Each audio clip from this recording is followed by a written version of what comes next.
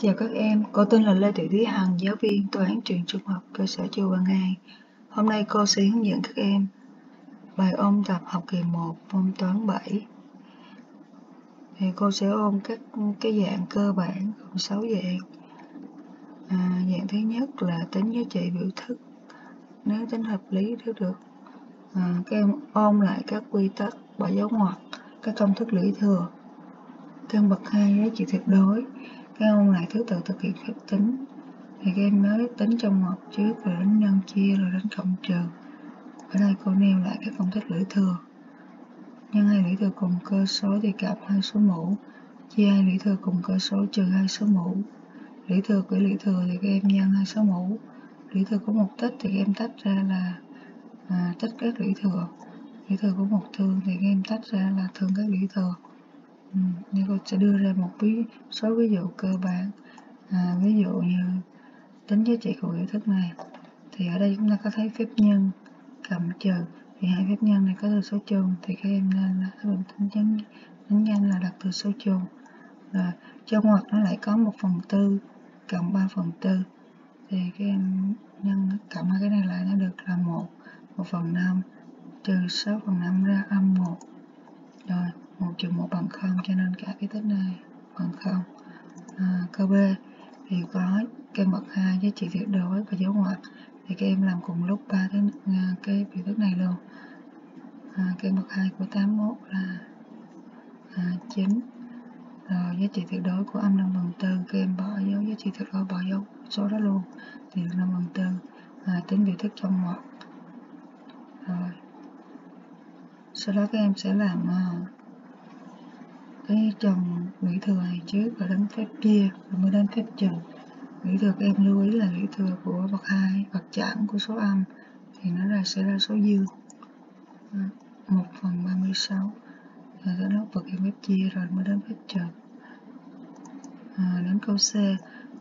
Câu C thì các em à, đưa tất cả các số này về cơ số nguyên tố hết. 20 thì là hai lũy thừa hai nhân 5 tất lấy được 12 8 là 2 lấy được 3 tất cả lấy được 4 15 là 3 nhân 5 tất cả lấy được 3 sau đó các em tách ra là 2 lấy được 2 tất cả lấy được 12 là bằng 2 lấy được 24 theo công thức lấy được vô lý thừa còn 5 là chỉ có lấy được 12 thôi Đó. ở dưới thì mình tách là 3 lấy được 15 3 lấy được 13 nhân 5 lấy được 13 rồi các em thấy trên tử này có 2 lấy được 24 với hai lũy thừa 12 các em lên cái chọn lại theo công thức số 1 giữ nguyên cơ số cộng hai số mũ. Rồi cho đó bước rút gọn. Thì hai cái lý thừa 26 giống nhau. Các em sẽ rút gọn là 11 rồi 5 lý thừa 13 với 5 lý thừa 12 các em sẽ chia cho cái nào nhỏ hơn. Chia 5 lý thừa 12 là bằng 5 lý thừa 0 bằng 1 5 lý thừa 13 chia 5 lý thừa 12 các em áp dụng công thức số 2 ở đây. Thì nó sẽ ra là 5 lũy thừa 1 là 5 à, tương tự như vậy đối với cơ số 3 à, nhân lại kem được 3 phần 5 đó là dạng số 1 giờ ta nghiên cứu tiếp dạng số 2 dạng thứ hai là dạng tiền x. Thì các em xem là các dạng tiền x. À, là tiền số trong cái số x trong cái tổng hiệu tích thương. Mình xem lại cái quy tắc chuyển vế. Chuyển vế nhớ đổi dấu. Rồi tìm x trong lũy thừa và tìm ít trong giá trị tuyệt đối và tỷ lệ thức bây giờ cô sẽ cho các em các dạng toán cơ bản. Ví dụ dạng thứ nhất này, thì các em giữ lại phép nhân. Thì 1 phần 5 x sẽ bằng âm 2 phần 5 cái này chuyển với qua là giá đổi dấu. Âm 4 phần 5 rồi, tính cái biểu thức bên tay phải. Sau đó các em tìm x là từ số cho biết lấy, tích chia từ số là viết để tìm ra kết quả. Đối với câu B thì các em nên bỏ dấu ngoặc, chứ dấu ngoặc có dấu trừ. Thì đổi dấu các số hàng trong ngoặc. Rồi, sau đó nhóm 3x trở lại trừ 1 phần 3x qua bên tay trái. Và số thì chuyển qua phải trừ 1 phần 3x khi chuyển qua bên tay trái thì em nhớ chuyển với là phải đổi dấu thành cộng. Tương tự như âm 5 chuyển qua là phải chuyển nó thành cộng 5 rồi sau đó các em đặt thử số chung là x thì ở đây nó được là 10 phần 3 x bằng 13 phần 4 thì các em tìm x trong phép nhân này. Giống như bên này. Rồi, đến câu C. Thì làm nhân chéo. Trong x trong tỷ lệ thức thì em thực hiện phép tính nhân chéo. 7 nhân x bằng âm 21 nhân 5 rồi, sau đó 7 nhân x bằng âm 105 thì các em sẽ tìm x bằng tích trừ sau đã viết cho mình. Là sẽ kèm mấy bài toán nhỏ nữa. Ví dụ tìm x trong giá trị tuyệt đối thì các em nên giữ giá trị tuyệt đối bên tay trái và chuyển các số qua phải. Ở đây số 0,75 các em chuyển đổi ra phân số rồi sau đó các em chuyển qua bên vế tay phải. Rồi sau khi tính với phải được ra một số rồi thì các em mới được mới chia ra. Nó có hai trường hợp xảy ra trường hợp thứ nhất là biểu thức 5 phần 2 trừ x bằng 30 3 phần 20 và trường hợp thứ hai là biểu thức. 5 phần 2 x bằng 5 phần 2 trừ x bằng âm 33 phần 20 giải ra tìm x thì chúng ta tìm được hai giá trị x trong bài toán này. Thì giải hai bài toán nhỏ này. Chúng ta xét tiếp x ở trên lũy thừa thì chúng ta phải cân bằng cái cơ số. Ở bên đây là cơ số 3 là cơ số hàng 7 thì chúng ta đưa về cơ số nhỏ hơn là đưa cơ, cơ số 3 thì lúc đó 27 nó sẽ là 3 mũ 3 tất cả một x thì 3 mũ 3x à, thì cơ số đã cân bằng rồi. Thì các em có số mũ ở đây 3x sẽ bằng x cộng 2 rồi chuyển cái x này qua bên tay trái là trừ x là trừ 1x rồi như đặt x làm thực số chung thì các em được là 2x bằng 2 và x bằng 1 trong trường hợp này cũng vậy chúng ta sẽ đưa về cơ số 2 phần 5 8 thì đưa về cơ số 2 phần 5 là à, 8 là 2 mũ 3 còn 125 là 5 mũ 3 vậy đó là bằng 2 phần 5 tất cả mũ 3 cơ số giống nhau ta lấy số mũ bằng số mũ bên đây và giải ra tìm x. À, còn nếu như x ở cơ số thì chúng ta phải bắt buộc phải cân bằng số mũ? Đưa 49 phần 64 về cơ mũ 2 nhưng mà lưu ý em là mũ chẵn thì nó phải có hai trường hợp cộng trừ. 49 là 7 mũ 2 64 là 8 mũ 2 vậy bằng cộng trừ 7 phần 8 mũ 2 thì trong trường hợp này chúng ta cũng có hai trường hợp xảy ra là x cộng 2 phần 5 bằng 7 phần 8 hay x cộng 2 phần 5 bằng trừ 7 phần 8 vậy hai bài toán nhỏ này chúng ta sẽ tìm được hai giá trị. X chúng ta xét dạng thứ ba là dạng tìm x. Trong dạng tỷ số bằng nhau chúng ta sẽ bài thứ nhất là, thì ở đây chúng ta có dạng tỷ số bằng nhau và có x trừ 2y bằng 18 thì chúng ta sẽ áp dụng tính với dạng tỷ số bằng nhau ghi lại dãy, ghi lại dãy này. Rồi vì trên tử sẽ là x trừ 2y còn dưới mẫu? Nếu trên tử là x thì dưới mẫu là, là mẫu của x là âm 5 và dấu trừ thì cũng dấu trừ. 2 y có nghĩa là 2 nhân y thì ở dưới là 2 nhân mẫu của y. Trên tử đều là cho 18 và dưới mẫu này các em phải tính nhân chia trước cộng trừ sau thì các em được là âm 9 rồi kết quả cái này chỉ này là được âm 2 x phần âm 5 bằng âm 2 từ đó các em sẽ tìm được x. Y phần 2 bằng âm 2 các em sẽ tìm được y các em xem xếp ví dụ số 2 4x bằng 9y 4x bằng 9y thì các em phải đổi nó về giữa tỷ số bằng nhau bên đây. Đó là x phần 9 bằng y phần 4 và x trừ y bằng 15 rồi sau đó chúng ta áp dụng tính với tỷ số bằng nhau. Ghi lại dạy tỷ số. Trên tử sẽ là x trừ y và dưới mẫu sẽ là mẫu của x trừ mẫu của y. Và các em thực hiện giống bên này. Trường hợp nếu có ba giá trị x, y, z, thì ba cái biến x, y, z thì chúng ta cũng áp dụng tính chất tỷ số bằng nhau. Thì ở đây lưu ý là đề bài cho x trừ y bằng âm 8 thì trên tử là x trừ y và mẫu sẽ là mẫu của x trừ mẫu của y trừ y bằng âm 8 và mẫu của x trừ mẫu của y cộng bằng âm 4 kết quả bằng 2 thì chúng ta vẫn tìm được x y z x phần 12 bằng 2 ta tìm được x bằng 24 y phần 16 bằng 2 ta tìm được y bằng 32 z phần 15 bằng 2 chúng ta cũng tìm được z. Theo tính chất như lý số bằng nhau rồi chúng ta sẽ chọn số 4 hàm số và đồ thị thì ở đây cho bài toán à, y bằng fx bằng 3x một câu cơ bản có thể lần ta cho là tìm giá trị f âm 1 f13 tức là giá trị của hàm số à, y bằng fx tại x bằng âm 1 chúng ta sẽ thay x bằng âm 1 vào cái hàm số. Như vậy 3 nhân x có nghĩa là 3 nhân âm 1 thì bằng âm 3 còn f13 thì 3 sẽ bằng 3 nhân x là 3 nhân 13 là 39 rồi, bây giờ đến câu B thì vẽ đồ thị của hàm số. Thì chúng ta đã biết là đồ thị của hàm số y bằng ax là đường thẳng. Cho nên chúng ta thực hiện là lập bảng giá trị gồm có hai hàng và ba cột. Và dạng y bằng ax thì là đường thẳng đi qua góc từ đồ cho nên chúng ta sẽ cho x bằng 0 thì y sẽ bằng 3 nhân 0 là bằng 0 và ở đây có f âm 1 cho nên cô chọn luôn à, x bằng âm 1 thì y bằng âm 3 ở đây. Rồi chúng ta sẽ tiến hành rồi vẽ đồ thị hàm số nó là đường thẳng đi qua hai điểm. À, góc tọa độ O có tọa độ 0 và điểm A có tọa độ là âm 1 âm 3 đó.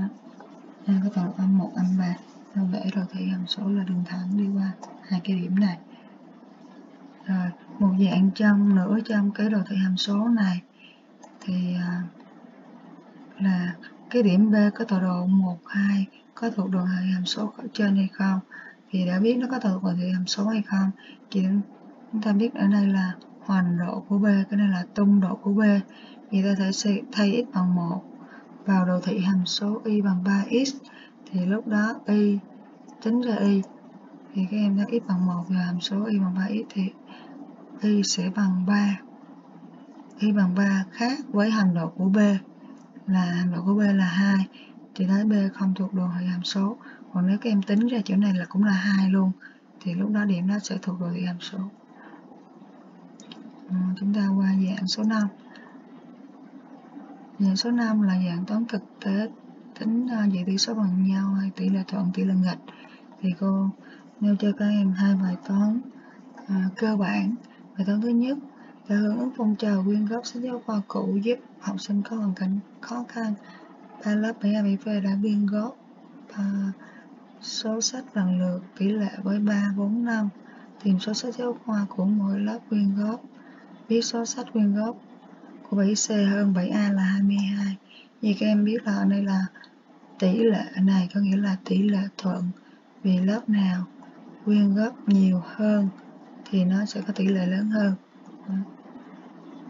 Thì ta sẽ gọi x, y, z là số quyển sách nguyên gốc của ba lớp này. Rồi theo đề thì ta có là x phần 3 bằng y phần 4 bằng z phần 7 tỷ lệ thuận là tỷ số không đổi, tức là phải chia không đổi. Ngoài ra chúng ta có 7c hơn 7a là 22 quyển, có nghĩa là z trừ x bằng 22 và sau khi tính thì x, y, z phải có điều kiện là nó thuộc n sao số tự nhiên các không? Rồi áp dụng tính chất chỉ số bằng nhau thì các em sẽ giải ra được là à, tỷ số này vậy này nó bằng 11 x phần 3 bằng 11 thì các em sẽ suy ra x phần 33 rồi các em nhớ cái phần đáp số là 7A được 33 quyển 7B 44 quyển và 7C 55, 55 quyển cái phần sau này là phần áp dụng đến cái với tỷ số bằng nhau. Giống như trước rồi chúng ta sẽ thêm một cái bài, về bài toán nữa.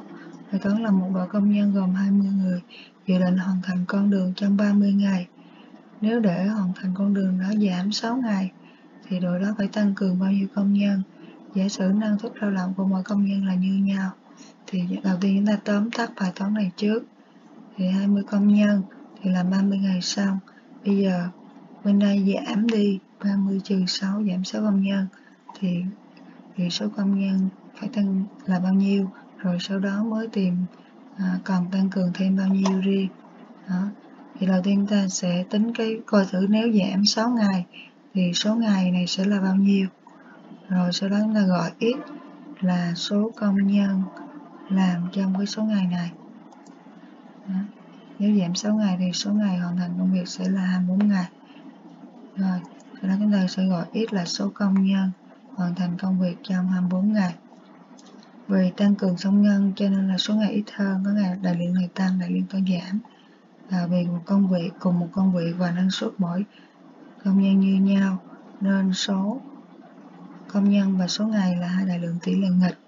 Thì đó ta có tích không đổi là x nhân 24 bên này sẽ bằng 20 nhân 30 tích hàng dưới bằng tích hàng trên rồi từ đó chúng ta sẽ giải được tìm x là bằng 25 số công nhân thì cần tìm thêm cần tăng cường thêm là lấy 25 này trừ cho 20 ban đầu là 5 người. Và đáp số sẽ là 5 người. Công nhân phải tăng cường thêm. Đó. đối với dạng này là dạng toán tỷ lệ nghịch. Thì các em nếu nó nhớ nó có ba bước. À, cơ bản bước thứ nhất là nếu giảm hay nếu tăng gì đó thì các em làm phép trừ. À, gọi x là số công nhân hoàn thành công việc trong cái số ngày mới tính ra. À, vì cùng một công việc và năng suất mỗi người như nhau nên các em đưa ra tích không đổi và giải ra tìm biết. Đây là bài bài toán cơ bản. Còn trong lớp các em sẽ có giáo viên hướng dẫn những bài tập khác thì các em ôn tập thêm.